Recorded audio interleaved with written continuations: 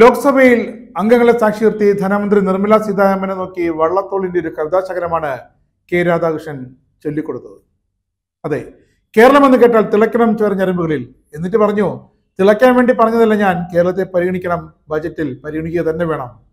ഇതാണ് കെ രാധാകൃഷ്ണൻ പറഞ്ഞതിന്റെ ഹൈലൈറ്റ്. ഭാരതം എന്ന് കേട്ടാൽ അഭിമാനപൂരിതമാകണം അന്തരംഗം. കേരളമെന്ന് കേട്ടാലോ തിളയ്ക്കണം ചോര ഞങ്ങ നിരമ്പുകളിൽ എന്ന് അന്ന് പറഞ്ഞിട്ടുണ്ട്. ഞാൻ ചവറ് തുളയ്ക്കാൻ വേണ്ടി പറയുന്നതല്ല. പക്ഷേ കേരളത്തെ പരിഗണിക്കാതെ പോകുന്ന ഈ സ്ഥിതിയിൽ മാറ്റമുണ്ടാക്കണമെന്ന് ഈ ഗവൺമെന്റിനോട് അഭ്യർത്ഥിച്ചുകൊണ്ട് ഇവിടെ നേരത്തെ ബഹുമാനായ അംഗങ്ങളെല്ലാം പറഞ്ഞ പോലെ നമ്മുടെ രാജ്യത്തിന്റെ മുന്നോട്ട് പോക്കിൽ തടസ്സം സൃഷ്ടിക്കുന്ന ഒരു ബഡ്ജറ്റാണ്. നമ്മുടെ രാജ്യത്തെ ഒന്നായി കാണാൻ ഈ ബഡ്ജറ്റിന് കഴിയുന്നില്ല എന്നുള്ളതാണ് ഏറ്റവും പ്രധാനപ്പെട്ട കാര്യം.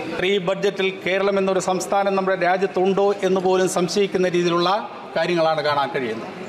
നമ്മുടെ രാജ്യത്തെ നാലിലൊന്ന് വരുന്ന ജനതയുടെ ജീവിതം മെച്ചപ്പെടുത്താൻ കഴിയുന്ന രീതിയിലുള്ള പുതിയ പദ്ധതികൾ എന്തെങ്കിലും നിർദ്ദേശം മുന്നോട്ട് വയ്ക്കാനുണ്ടോ? നമ്മുടെ രാജ്യത്തെ പാവപ്പെട്ട ആളുകളുടെ ജീവിതം മെച്ചപ്പെടുത്താൻ എന്തെങ്കിലും സംവിധാനമുണ്ടോ? അതില്ല എന്നുള്ളതാണ് ഓരോ കണക്കുകളും സൂചിപ്പിക്കുന്നത്. നമുക്കറിയാം അടുത്ത കാലത്ത് വന്ന കണക്കുകളെല്ലാം പറയുന്നത് നമ്മുടെ രാജ്യത്തിന്റെ ദാരിദ്ര്യം ധന്യവാദ് പ്ലീസ് കംപ്ലീറ്റ് നമ്മുടെ രാജ്യത്തെ പാവപ്പെട്ടവന്റെ ജീവിതം കൂടുതൽ കഷ്ട ദുരിതപൂർണമാകുന്നു എന്നുള്ള സർവേ റിപ്പോർട്ടുകളാണ് എല്ലാ ഭാഗത്തും വന്നുകൊണ്ടിരിക്കുന്നത്. ദാരിദ്ര്യത്തിന്റെ ഇൻഡെക്സിൽ നമ്മൾ എവിടെയാണ് നിൽക്കുന്നത്? അല്ലെങ്കിൽ ഇനിക്വാളിറ്റിയുടെ കാര്യത്തിൽ നമ്മൾ എവിടെയാണ് നിൽക്കുന്നത്? ഡിസ്ക്രിമിനേഷന്റെ കാര്യത്തിൽ നമ്മൾ എവിടെയാണ് നിൽക്കുന്നത്? അങ്ങനെ ഓരോ രംഗമെടുത്ത് പരിശോധിക്കുമ്പോഴും നമ്മുടെ രാജ്യത്തെ മഹാഭൂരിപക്ഷം ആളുകളും ഇപ്പോഴും നാനാതരത്തിലുള്ള ദുരിതങ്ങൾ പേറി ജീവിക്കുകയാണ്. അതിന് പരിഹാരമുണ്ടാക്കാൻ വേണ്ടിയുള്ള ക്രിയാത്മകമായിട്ട് നിർദ്ദേശങ്ങളൊന്നും തന്നെ നമ്മുടെ ഈ ബഡ്ജറ്റിൽ കാണാൻ വേണ്ടി കഴിയുന്നില്ല. സർ കേരളം എന്നൊരു സംസ്ഥാനം ആ കേരളത്തിൽ നിന്നാണ് ഞാൻ വരുന്നത്. അപ്പോൾ ആ കേരളം എന്ന സംസ്ഥാനം ഇന്ത്യക്കാകെ മാതൃകയാകുന്ന രീതിയിൽ ഒട്ടേറെ മേഖലയിൽ വലിയ മുന്നേറ്റം ഉണ്ടാക്കിയിട്ടുണ്ട്. ആ മുന്നേറ്റം ഉണ്ടാക്കിയത് കേരളത്തിന് ശാപമായി മാറുന്ന ഒരു സ്ഥിതിയിലേക്ക് കാര്യങ്ങൾ പോവുകയാണ്. സർ ഈ ബഡ്ജറ്റിൽ കേരളം എന്നൊരു സംസ്ഥാനം രാജ്യം അതിവേഗത്തിൽ വികസിക്കുന്നു എന്നാണ് പ്രധാനമന്ത്രി പറഞ്ഞത്. എന്നാൽ യാഥാർത്ഥ്യം ബജറ്റിലും സാമ്പത്തിക സർവേ റിപ്പോർട്ടിലുമുണ്ടെന്ന് കെ രാധാകൃഷ്ണൻ തുറന്നു പറഞ്ഞു. രാജ്യം പുറകോട്ട് പോകുന്നു. അതുകൊണ്ട് തന്നെ ബജറ്റ് കേരളത്തിന്റെ രാജ്യത്തിന്റെ മുന്നോട്ട് പോക്കിന് തടസ്സം തന്നെയാണ്. രാജ്യത്തെ ഒന്നായി കാണാനും ബജറ്റിന് സാധിക്കുന്നില്ല. മഹാഭൂരിപക്ഷം സംസ്ഥാനങ്ങളെയും അവഗണിച്ചു. തെരഞ്ഞെടുപ്പ് സമയത്ത് പറഞ്ഞതൊന്നും നടപ്പാക്കാതെയാണ് ഇവർ രണ്ടായിരത്തി പത്തൊൻപതിൽ തെരഞ്ഞെടുപ്പിനെ നേരിട്ടത്. അതുതന്നെയാണ് ഇത്തവണയും സംഭവിച്ചത്. ബജറ്റ് കണ്ടാൽ കേരളം ഈ രാജ്യത്തുണ്ടോ എന്ന് പോലും സംശയം വരുമെന്നും രാധാകൃഷ്ണൻ പറയുന്നു. ജനങ്ങളുടെ ജീവിതം മെച്ചപ്പെടുകയല്ല. അത് പുറകോട്ട് പോകുന്നു എന്നാണ് നാം തിരിച്ചറിയുന്നത്. അതുകൊണ്ട് തന്നെ ഈ ബഡ്ജറ്റ് ഇവിടെ നേരത്തെ ബഹുമാനായ അംഗങ്ങളെല്ലാം പറഞ്ഞ പോലെ നമ്മുടെ രാജ്യത്തിന്റെ മുന്നോട്ട് പോക്കിൽ തടസ്സം സൃഷ്ടിക്കുന്ന ഒരു ബഡ്ജറ്റാണ്. നമ്മുടെ രാജ്യത്തെ ഒന്നായി കാണാൻ ഈ ബഡ്ജറ്റിന് കഴിയുന്നില്ല എന്നുള്ളതാണ് ഏറ്റവും പ്രധാനപ്പെട്ട കാര്യം.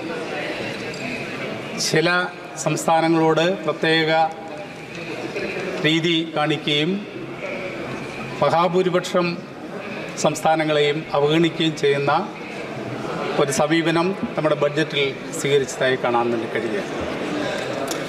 നമ്മുടെ ബഡ്ജറ്റ് നമ്മുടെ രാജ്യത്തിന്റെ പൊതുവികസനത്തിനും ജനങ്ങളുടെ മുൻ മുന്നേറ്റത്തിനും ഉതകുന്ന രീതിയിലാണ് വേണ്ടത് എന്നുള്ളത് നമ്മളെല്ലാം തിരിച്ചറിയുന്നു. ആ അർത്ഥത്തിൽ നോക്കുമ്പോൾ ഈ ബഡ്ജറ്റ് നമ്മുടെ രാജ്യത്തെ മുന്നോട്ട് നയിക്കുന്ന ഒന്നല്ല എന്ന് കൃത്യമായിട്ട് നമുക്ക് മനസ്സിലാക്കാൻ കഴിയും. തെരഞ്ഞെടുപ്പ് സമയത്ത് പറഞ്ഞതെല്ലാം ഇന്ന് നാം പരിശോധിക്കുമ്പോൾ അതെല്ലാം വലിയ രീതിയിലുള്ള വാഗ്ദാനങ്ങൾ മാത്രമായിട്ട് അവശേഷിക്കുകയാണ്.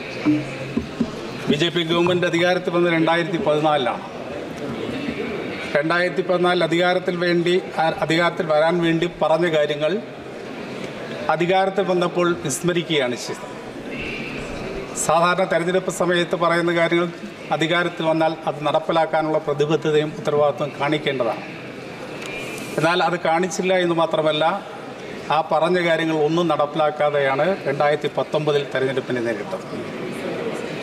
പത്തൊമ്പത് തെരഞ്ഞെടുപ്പ് സമയത്ത് ബി ജെ പിയുടെ നേതാക്കൾ പറഞ്ഞത് രണ്ടായിരത്തി പറഞ്ഞ് രണ്ടായിരത്തി പതിനാലിൽ പറഞ്ഞ കാര്യങ്ങൾ അത് നടപ്പിലാക്കിയോ എന്ന് ജനങ്ങൾ ചോദിച്ചപ്പോൾ പറഞ്ഞത് തെരഞ്ഞെടുപ്പിൽ പറയുന്ന കാര്യങ്ങൾ അത് നടപ്പിലാക്കാനുള്ളതല്ല കേവലം വാഗ്ദാനങ്ങൾ മാത്രമാണ് എന്നാണ് പറഞ്ഞത്. രണ്ടായിരത്തി പത്തൊമ്പതിൽ വീണ്ടും ബി ജെ പി അധികാരത്തിൽ വന്നു. രണ്ടായിരത്തി ഇരുപത്തിനാലിലും വീണ്ടും വാഗ്ദാനങ്ങൾ ആവർത്തിച്ചു. പക്ഷേ ആ വാഗ്ദാനങ്ങൾ നടപ്പിലാക്കാൻ വേണ്ടിയുള്ള യാതൊന്നും തന്നെ നമ്മുടെ ബഡ്ജറ്റിൽ കാണാൻ വേണ്ടി കഴിയുന്നില്ല. മഹാഭൂരിപക്ഷം വരുന്ന ജനങ്ങൾക്കും ദുരിതം സമ്മാനിക്കുന്ന സമീപനമാണ് ഈ ബഡ്ജറ്റിൽ സ്വീകരിച്ചിരിക്കുന്നത്. ഇവിടെ നേരത്തെ ബഹുമാനായ പ്രേമേന്ദ്രൻ എം പി സൂചിപ്പിക്കുകയുണ്ടായി. തെരഞ്ഞെടുപ്പ് സമയത്ത് ബഹുമാനായ പ്രധാനമന്ത്രി നമ്മുടെ രാജ്യത്താകെ ഓടി നടന്ന് പറഞ്ഞ ഒരു കാര്യമാണ് താൻ നാനൂറ് സീറ്റുകളുടെ ഭൂരിപക്ഷത്തോടുകൂടി ഇന്ത്യയിൽ വീണ്ടും അധികാരത്തിൽ വരുമെന്നാണ്. എന്നാൽ നാനൂറ് സീറ്റിൽ അധികാരത്തിൽ വരും എന്ന് പറഞ്ഞ പ്രധാനമന്ത്രിയുടെ പാർട്ടിക്ക് ലഭിച്ചത് കേവലം ഇരുന്നൂറ്റി നാൽപ്പത് സീറ്റാണ്. അതുകൊണ്ട് തന്നെ മെജോറിറ്റി കിട്ടാത്ത ഒരവസ്ഥ ഈ ഭരണകൂടത്തിനുണ്ടായി. അതുകൊണ്ട് തന്നെയാണ് പല സമ്മർദ്ദങ്ങൾക്കും വഴങ്ങിക്കൊണ്ടുള്ള സമീപനം സ്വീകരിക്കേണ്ടി വന്നത് എന്ന് ഈ ബഡ്ജറ്റിലൂടെ നമുക്ക് കാണാൻ വേണ്ടി കഴിയുക സമ്മർദ്ദത്തിന് വഴങ്ങിക്കൊണ്ടുള്ള ഒരു ബഡ്ജറ്റായി നമ്മുടെ ദേശീയ ബഡ്ജറ്റ് മാറി എന്നുള്ളതാണ് നമുക്ക് കാണാൻ വേണ്ടി കഴിയുന്നത്. അങ്ങനെ സമ്മർദ്ദത്തിന് വഴങ്ങിക്കൊണ്ട് പോകേണ്ട ഒരു അവസ്ഥയിലാണ് ഇന്ന് ബി ജെ പി. വലിയ അഹങ്കാരത്തോടുകൂടി പറഞ്ഞതാണ് നാനൂറ് സീറ്റിന്റെ ഭൂരിപക്ഷത്തോടുകൂടി അധികാരത്തിൽ വരുന്നത്. എന്നാൽ ഇന്ത്യൻ ജനത നല്ലപോലെ തിരിച്ചറിയാൻ തുടങ്ങി എന്നതിന്റെ തെളിവാണ് ഭൂരിപക്ഷമില്ലാതെ ഭരിക്കേണ്ടി വന്ന ഒരു ബി ജെ പി ഗവൺമെന്റ് നമുക്ക് കാണാൻ വേണ്ടി കഴിയുന്നത്. അപ്പോൾ തീർച്ചയായിട്ടും ബി ജെ പി ഗവൺമെന്റ് ജനങ്ങൾക്ക് നൽകിയ വാഗ്ദാനങ്ങൾ നടപ്പിലാക്കുന്നതിൽ ഉത്തരവാദിത്വവും പ്രതിബദ്ധതയും കാണിക്കാത്തതിന്റെ കൂടി ഫലമായി കൊണ്ടാണ് നാനൂറ് സീറ്റ് കിട്ടുമെന്ന് പറഞ്ഞ് ഇരുന്നൂറ്റി നാൽപ്പതിലേക്ക് ചുരുങ്ങേണ്ടി വന്നത്.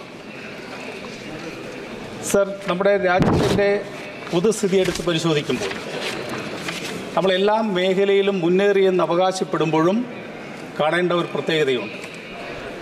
നമ്മുടെ സംസ്ഥാന നമ്മുടെ രാജ്യത്ത് പാവപ്പെട്ടവന്റെ ജീവിതം കൂടുതൽ കൂടുതൽ ദുരിതപൂർണമായി മാറുന്നു എന്നുള്ളതാണ് കാണാൻ വേണ്ടി കഴിയുന്നത് സർ നമ്മുടെ രാജ്യത്ത് നാലിലൊന്ന് വരുന്ന ജനത ഷെഡ്യൂൾ കാസ്റ്റ് ആൻഡ് ട്രൈബാണ്. അങ്ങനെ നമ്മുടെ പോപ്പുലേഷന്റെ നാലിലൊന്ന് വരുന്ന എസ് സി എസ് ടി ജനവിഭാഗത്തിന്റെ അവരുടെ അവസ്ഥ എന്താണ് എന്ന് നാം പരിശോധിക്കേണ്ടത് എഴുപത്തേഴ് വർഷം തികയാൻ വേണ്ടി പോവുകയാണ് നമ്മൾക്ക് സ്വാതന്ത്ര്യം ലഭിച്ചിട്ട് അങ്ങനെ സ്വാതന്ത്ര്യം ലഭിച്ച് എഴുപത്തേഴ് വർഷം തികയാൻ വേണ്ടി പോകുമ്പോഴും നമ്മുടെ ഇന്ത്യൻ ജനതയുടെ നാലിലൊന്ന് വരുന്ന ഷെഡ്യൂൾ കാസ്റ്റിന്റെയും ഷെഡ്യൂൾ ട്രൈബിന്റെയും സ്ഥിതി എന്താണ് എന്ന് നാം പരിശോധിക്കുമ്പോൾ വലിയ ദുരിതമാണ് ഇപ്പോഴും ആ വിഭാഗങ്ങൾ നമ്മുടെ രാജ്യത്ത് അഭിമുഖീകരിക്കുന്നതെന്ന് നാം തിരിച്ചറിയാം അവരുടെ ജീവിതം മെച്ചപ്പെടുത്താൻ വേണ്ടിയുള്ള ഒട്ടേറെ പദ്ധതികൾ നടപ്പിലാക്കിയെന്ന് നാം അവകാശപ്പെടുകയാണ് രാജ്യത്ത്. എന്നാൽ അവരുടെ ജീവിതം എത്ര കണ്ട് മെച്ചപ്പെട്ടു എന്നുള്ളതിനെ സംബന്ധിച്ച് യാതൊരു പരിശോധനയും നമുക്ക് നാളിതുവരെ നടത്താൻ വേണ്ടി കഴിഞ്ഞില്ല. ചില സംസ്ഥാനങ്ങൾ ചില കാര്യങ്ങൾ അവർക്ക് വേണ്ടി ചെയ്യുന്നുണ്ട്.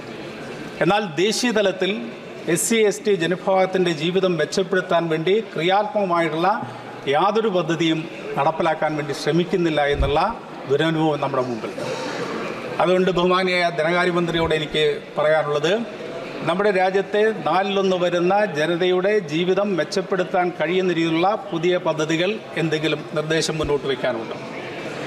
നമ്മുടെ രാജ്യത്തെ പാവപ്പെട്ട ആളുകളുടെ ജീവിതം മെച്ചപ്പെടുത്താൻ എന്തെങ്കിലും സംവിധാനമുണ്ടോ? അതില്ല എന്നുള്ളതാണ് ഓരോ കണക്കുകളും സൂചിപ്പിക്കുന്നത്. നമുക്കറിയാം അടുത്ത കാലത്ത് വന്ന കണക്കുകളെല്ലാം പറയുന്നത് നമ്മുടെ രാജ്യത്തിന്റെ ദാരിദ്ര്യം പ്ലീസ് കംപ്ലീറ്റ് നമ്മുടെ രാജ്യത്തെ പാവപ്പെട്ടവന്റെ ജീവിതം കൂടുതൽ കഷ്ട എന്നുള്ള സർവേ റിപ്പോർട്ടുകളാണ് എല്ലാ ഭാഗത്തും വന്നുകൊണ്ടിരിക്കുന്നത്. ദാരിദ്ര്യത്തിന്റെ ഇൻഡെക്സിൽ നമ്മൾ എവിടെയാണ് നിൽക്കുന്നത്? അല്ലെങ്കിൽ ഇനിക്വാളിറ്റിയുടെ കാര്യത്തിൽ നമ്മൾ എവിടെയാണ് നിൽക്കുന്നത്? ഡിസ്ക്രിമിനേഷന്റെ കാര്യത്തിൽ നമ്മൾ എവിടെയാണ് നിൽക്കുന്നത്? അങ്ങനെ ഓരോ രംഗമെടുത്ത് പരിശോധിക്കുമ്പോഴും നമ്മുടെ രാജ്യത്തെ മഹാഭൂരിപക്ഷം ആളുകളും ഇപ്പോഴും നാനാതരത്തിലുള്ള ദുരിതങ്ങൾ പേറി ജീവിക്കുകയാണ്. അതിന് പരിഹാരം ഉണ്ടാക്കാൻ വേണ്ടിയുള്ള ക്രിയാത്മകമായിട്ടുള്ള നിർദ്ദേശങ്ങളൊന്നും തന്നെ നമ്മുടെ ഈ ബഡ്ജറ്റിൽ കാണാൻ വേണ്ടി കഴിയുന്നില്ല സർ കേരളം എന്നൊരു സംസ്ഥാനം ആ കേരളത്തിൽ നിന്നാണ് ഞാൻ- വരുന്നത്. അപ്പോൾ ആ കേരളം എന്ന സംസ്ഥാനം ഇന്ത്യക്കാകെ മാതൃകയാകുന്ന രീതിയിൽ ഒട്ടേറെ മേഖലയിൽ വലിയ മുന്നേറ്റം ഉണ്ടാക്കിയിട്ടുണ്ട്. ആ മുന്നേറ്റം ഉണ്ടാക്കിയത് കേരളത്തിന് ശാപമായി മാറുന്ന ഒരു സ്ഥിതിയിലേക്ക് കാര്യങ്ങൾ പോവുകയാണ്. സർ ഈ ബഡ്ജറ്റിൽ കേരളം എന്നൊരു സംസ്ഥാനം നമ്മുടെ രാജ്യത്തുണ്ടോ എന്ന് പോലും സംശയിക്കുന്ന രീതിയിലുള്ള കാര്യങ്ങളാണ് കാണാൻ കഴിയുന്നത്.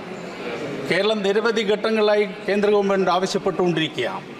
കേരളത്തിന് ആവശ്യമായിട്ടുള്ള സാമ്പത്തിക സഹായങ്ങൾ വ്യത്യസ്ത മേഖലയിൽ ചെയ്യണം. അതുകൊണ്ടാണ് കേരള ഗവൺമെന്റ് തന്നെ നേരിട്ട് നമ്മുടെ ബഹുമാന്യായ ധനകാര്യമന്ത്രിയെ കണ്ട് നിവേദനം സമർപ്പിച്ചു ഏകദേശം ഇരുപത്തിനാല് കോടി രൂപയുടെ ഒരു സ്പെഷ്യൽ പാക്കേജ് കേരളത്തിന് വേണ്ടി നൽകണമെന്ന് ആവശ്യപ്പെട്ടിരുന്നു. സർ പ്ലീസ് കംപ്ലീറ്റ് ഇരുപത്തിനാല് കോടി രൂപയുടെ സ്പെഷ്യൽ പാക്കേജ് വേണമെന്നാവശ്യപ്പെട്ടിരുന്നു ഒരു നയാ പൈസ പോലും ബഡ്ജറ്റിൽ മാറ്റിവെക്കാൻ വേണ്ടി തയ്യാറായില്ല. സർ ഞങ്ങൾ വീണ്ടും ആവശ്യപ്പെടുകയാണ്.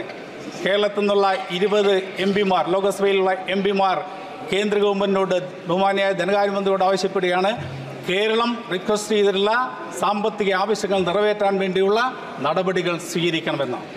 സർ കേരളവും ഇന്ത്യയുടെ പാർട്ടാണ് ഇന്ത്യയുടെ ഭാഗമായിട്ടാണ് കേരളവും എന്നുള്ള കാര്യം തിരിച്ചറിഞ്ഞുകൊണ്ട് കേരളം മുന്നോട്ട് വെച്ച ആവശ്യങ്ങൾക്ക് പരിഹാരമുണ്ടാക്കാൻ വേണ്ടിയുള്ള നടപടി സ്വീകരിക്കണമെന്നുകൂടി ഈ സന്ദർഭത്തിൽ സൂചിപ്പിക്കുക. സർ മറ്റു കാര്യങ്ങളിലേക്കൊന്നും കടന്നു പോകുന്നില്ല. സമയം വളരെ കുറച്ചാണ് ലഭിക്കുന്നത്. ധന്യവാദ് സർ ഒരു കാര്യം കൂടി സൂചിപ്പിച്ചുകൊണ്ട് ഞാൻ സർ ഒരു ഒരു ഒറ്റ കാര്യം കൂടി. സർ കേരളത്തിലെ ഏറ്റവും വലിയ ഒരു കവിയായിരുന്നു അല്ലെങ്കിൽ ഫ്രീഡം ഫൈറ്ററായിരുന്നു മഹാകവി വള്ളത്തോൾ. അദ്ദേഹം ഇന്ത്യൻ സ്വാതന്ത്ര്യ സമര സമയത്ത് ജനങ്ങളെ ഉത്തേജിപ്പിക്കാൻ വേണ്ടി പാടിയ ഒരു പദ്യമുണ്ട് അല്ലെങ്കിൽ വാക്കുകളുണ്ട് പറഞ്ഞ വാക്കുകളുണ്ട്. അദ്ദേഹം അന്ന് പറഞ്ഞു ഭാരതമെന്ന് കേട്ടാൽ അഭിമാനപൂരിതമാകണം അന്തരംഗം. കേരളമെന്ന് കേട്ടാലോ തിളയ്ക്കണം ചോര ഞങ്ങ നിരമ്പുകളിൽ എന്ന് അന്ന് പറഞ്ഞിട്ടുണ്ട്. ഞാൻ ചോര തുളയ്ക്കാൻ വേണ്ടി പറയുന്നതല്ല പക്ഷേ കേരളത്തെ പരിഗണിക്കാതെ പോകുന്ന ഈ സ്ഥിതിയിൽ മാറ്റമുണ്ടാക്കണമെന്ന് ഈ ഗവൺമെന്റിനോട് അഭ്യർത്ഥിച്ചുകൊണ്ട് ഒരിക്കൽ കൂടി ഈ ധന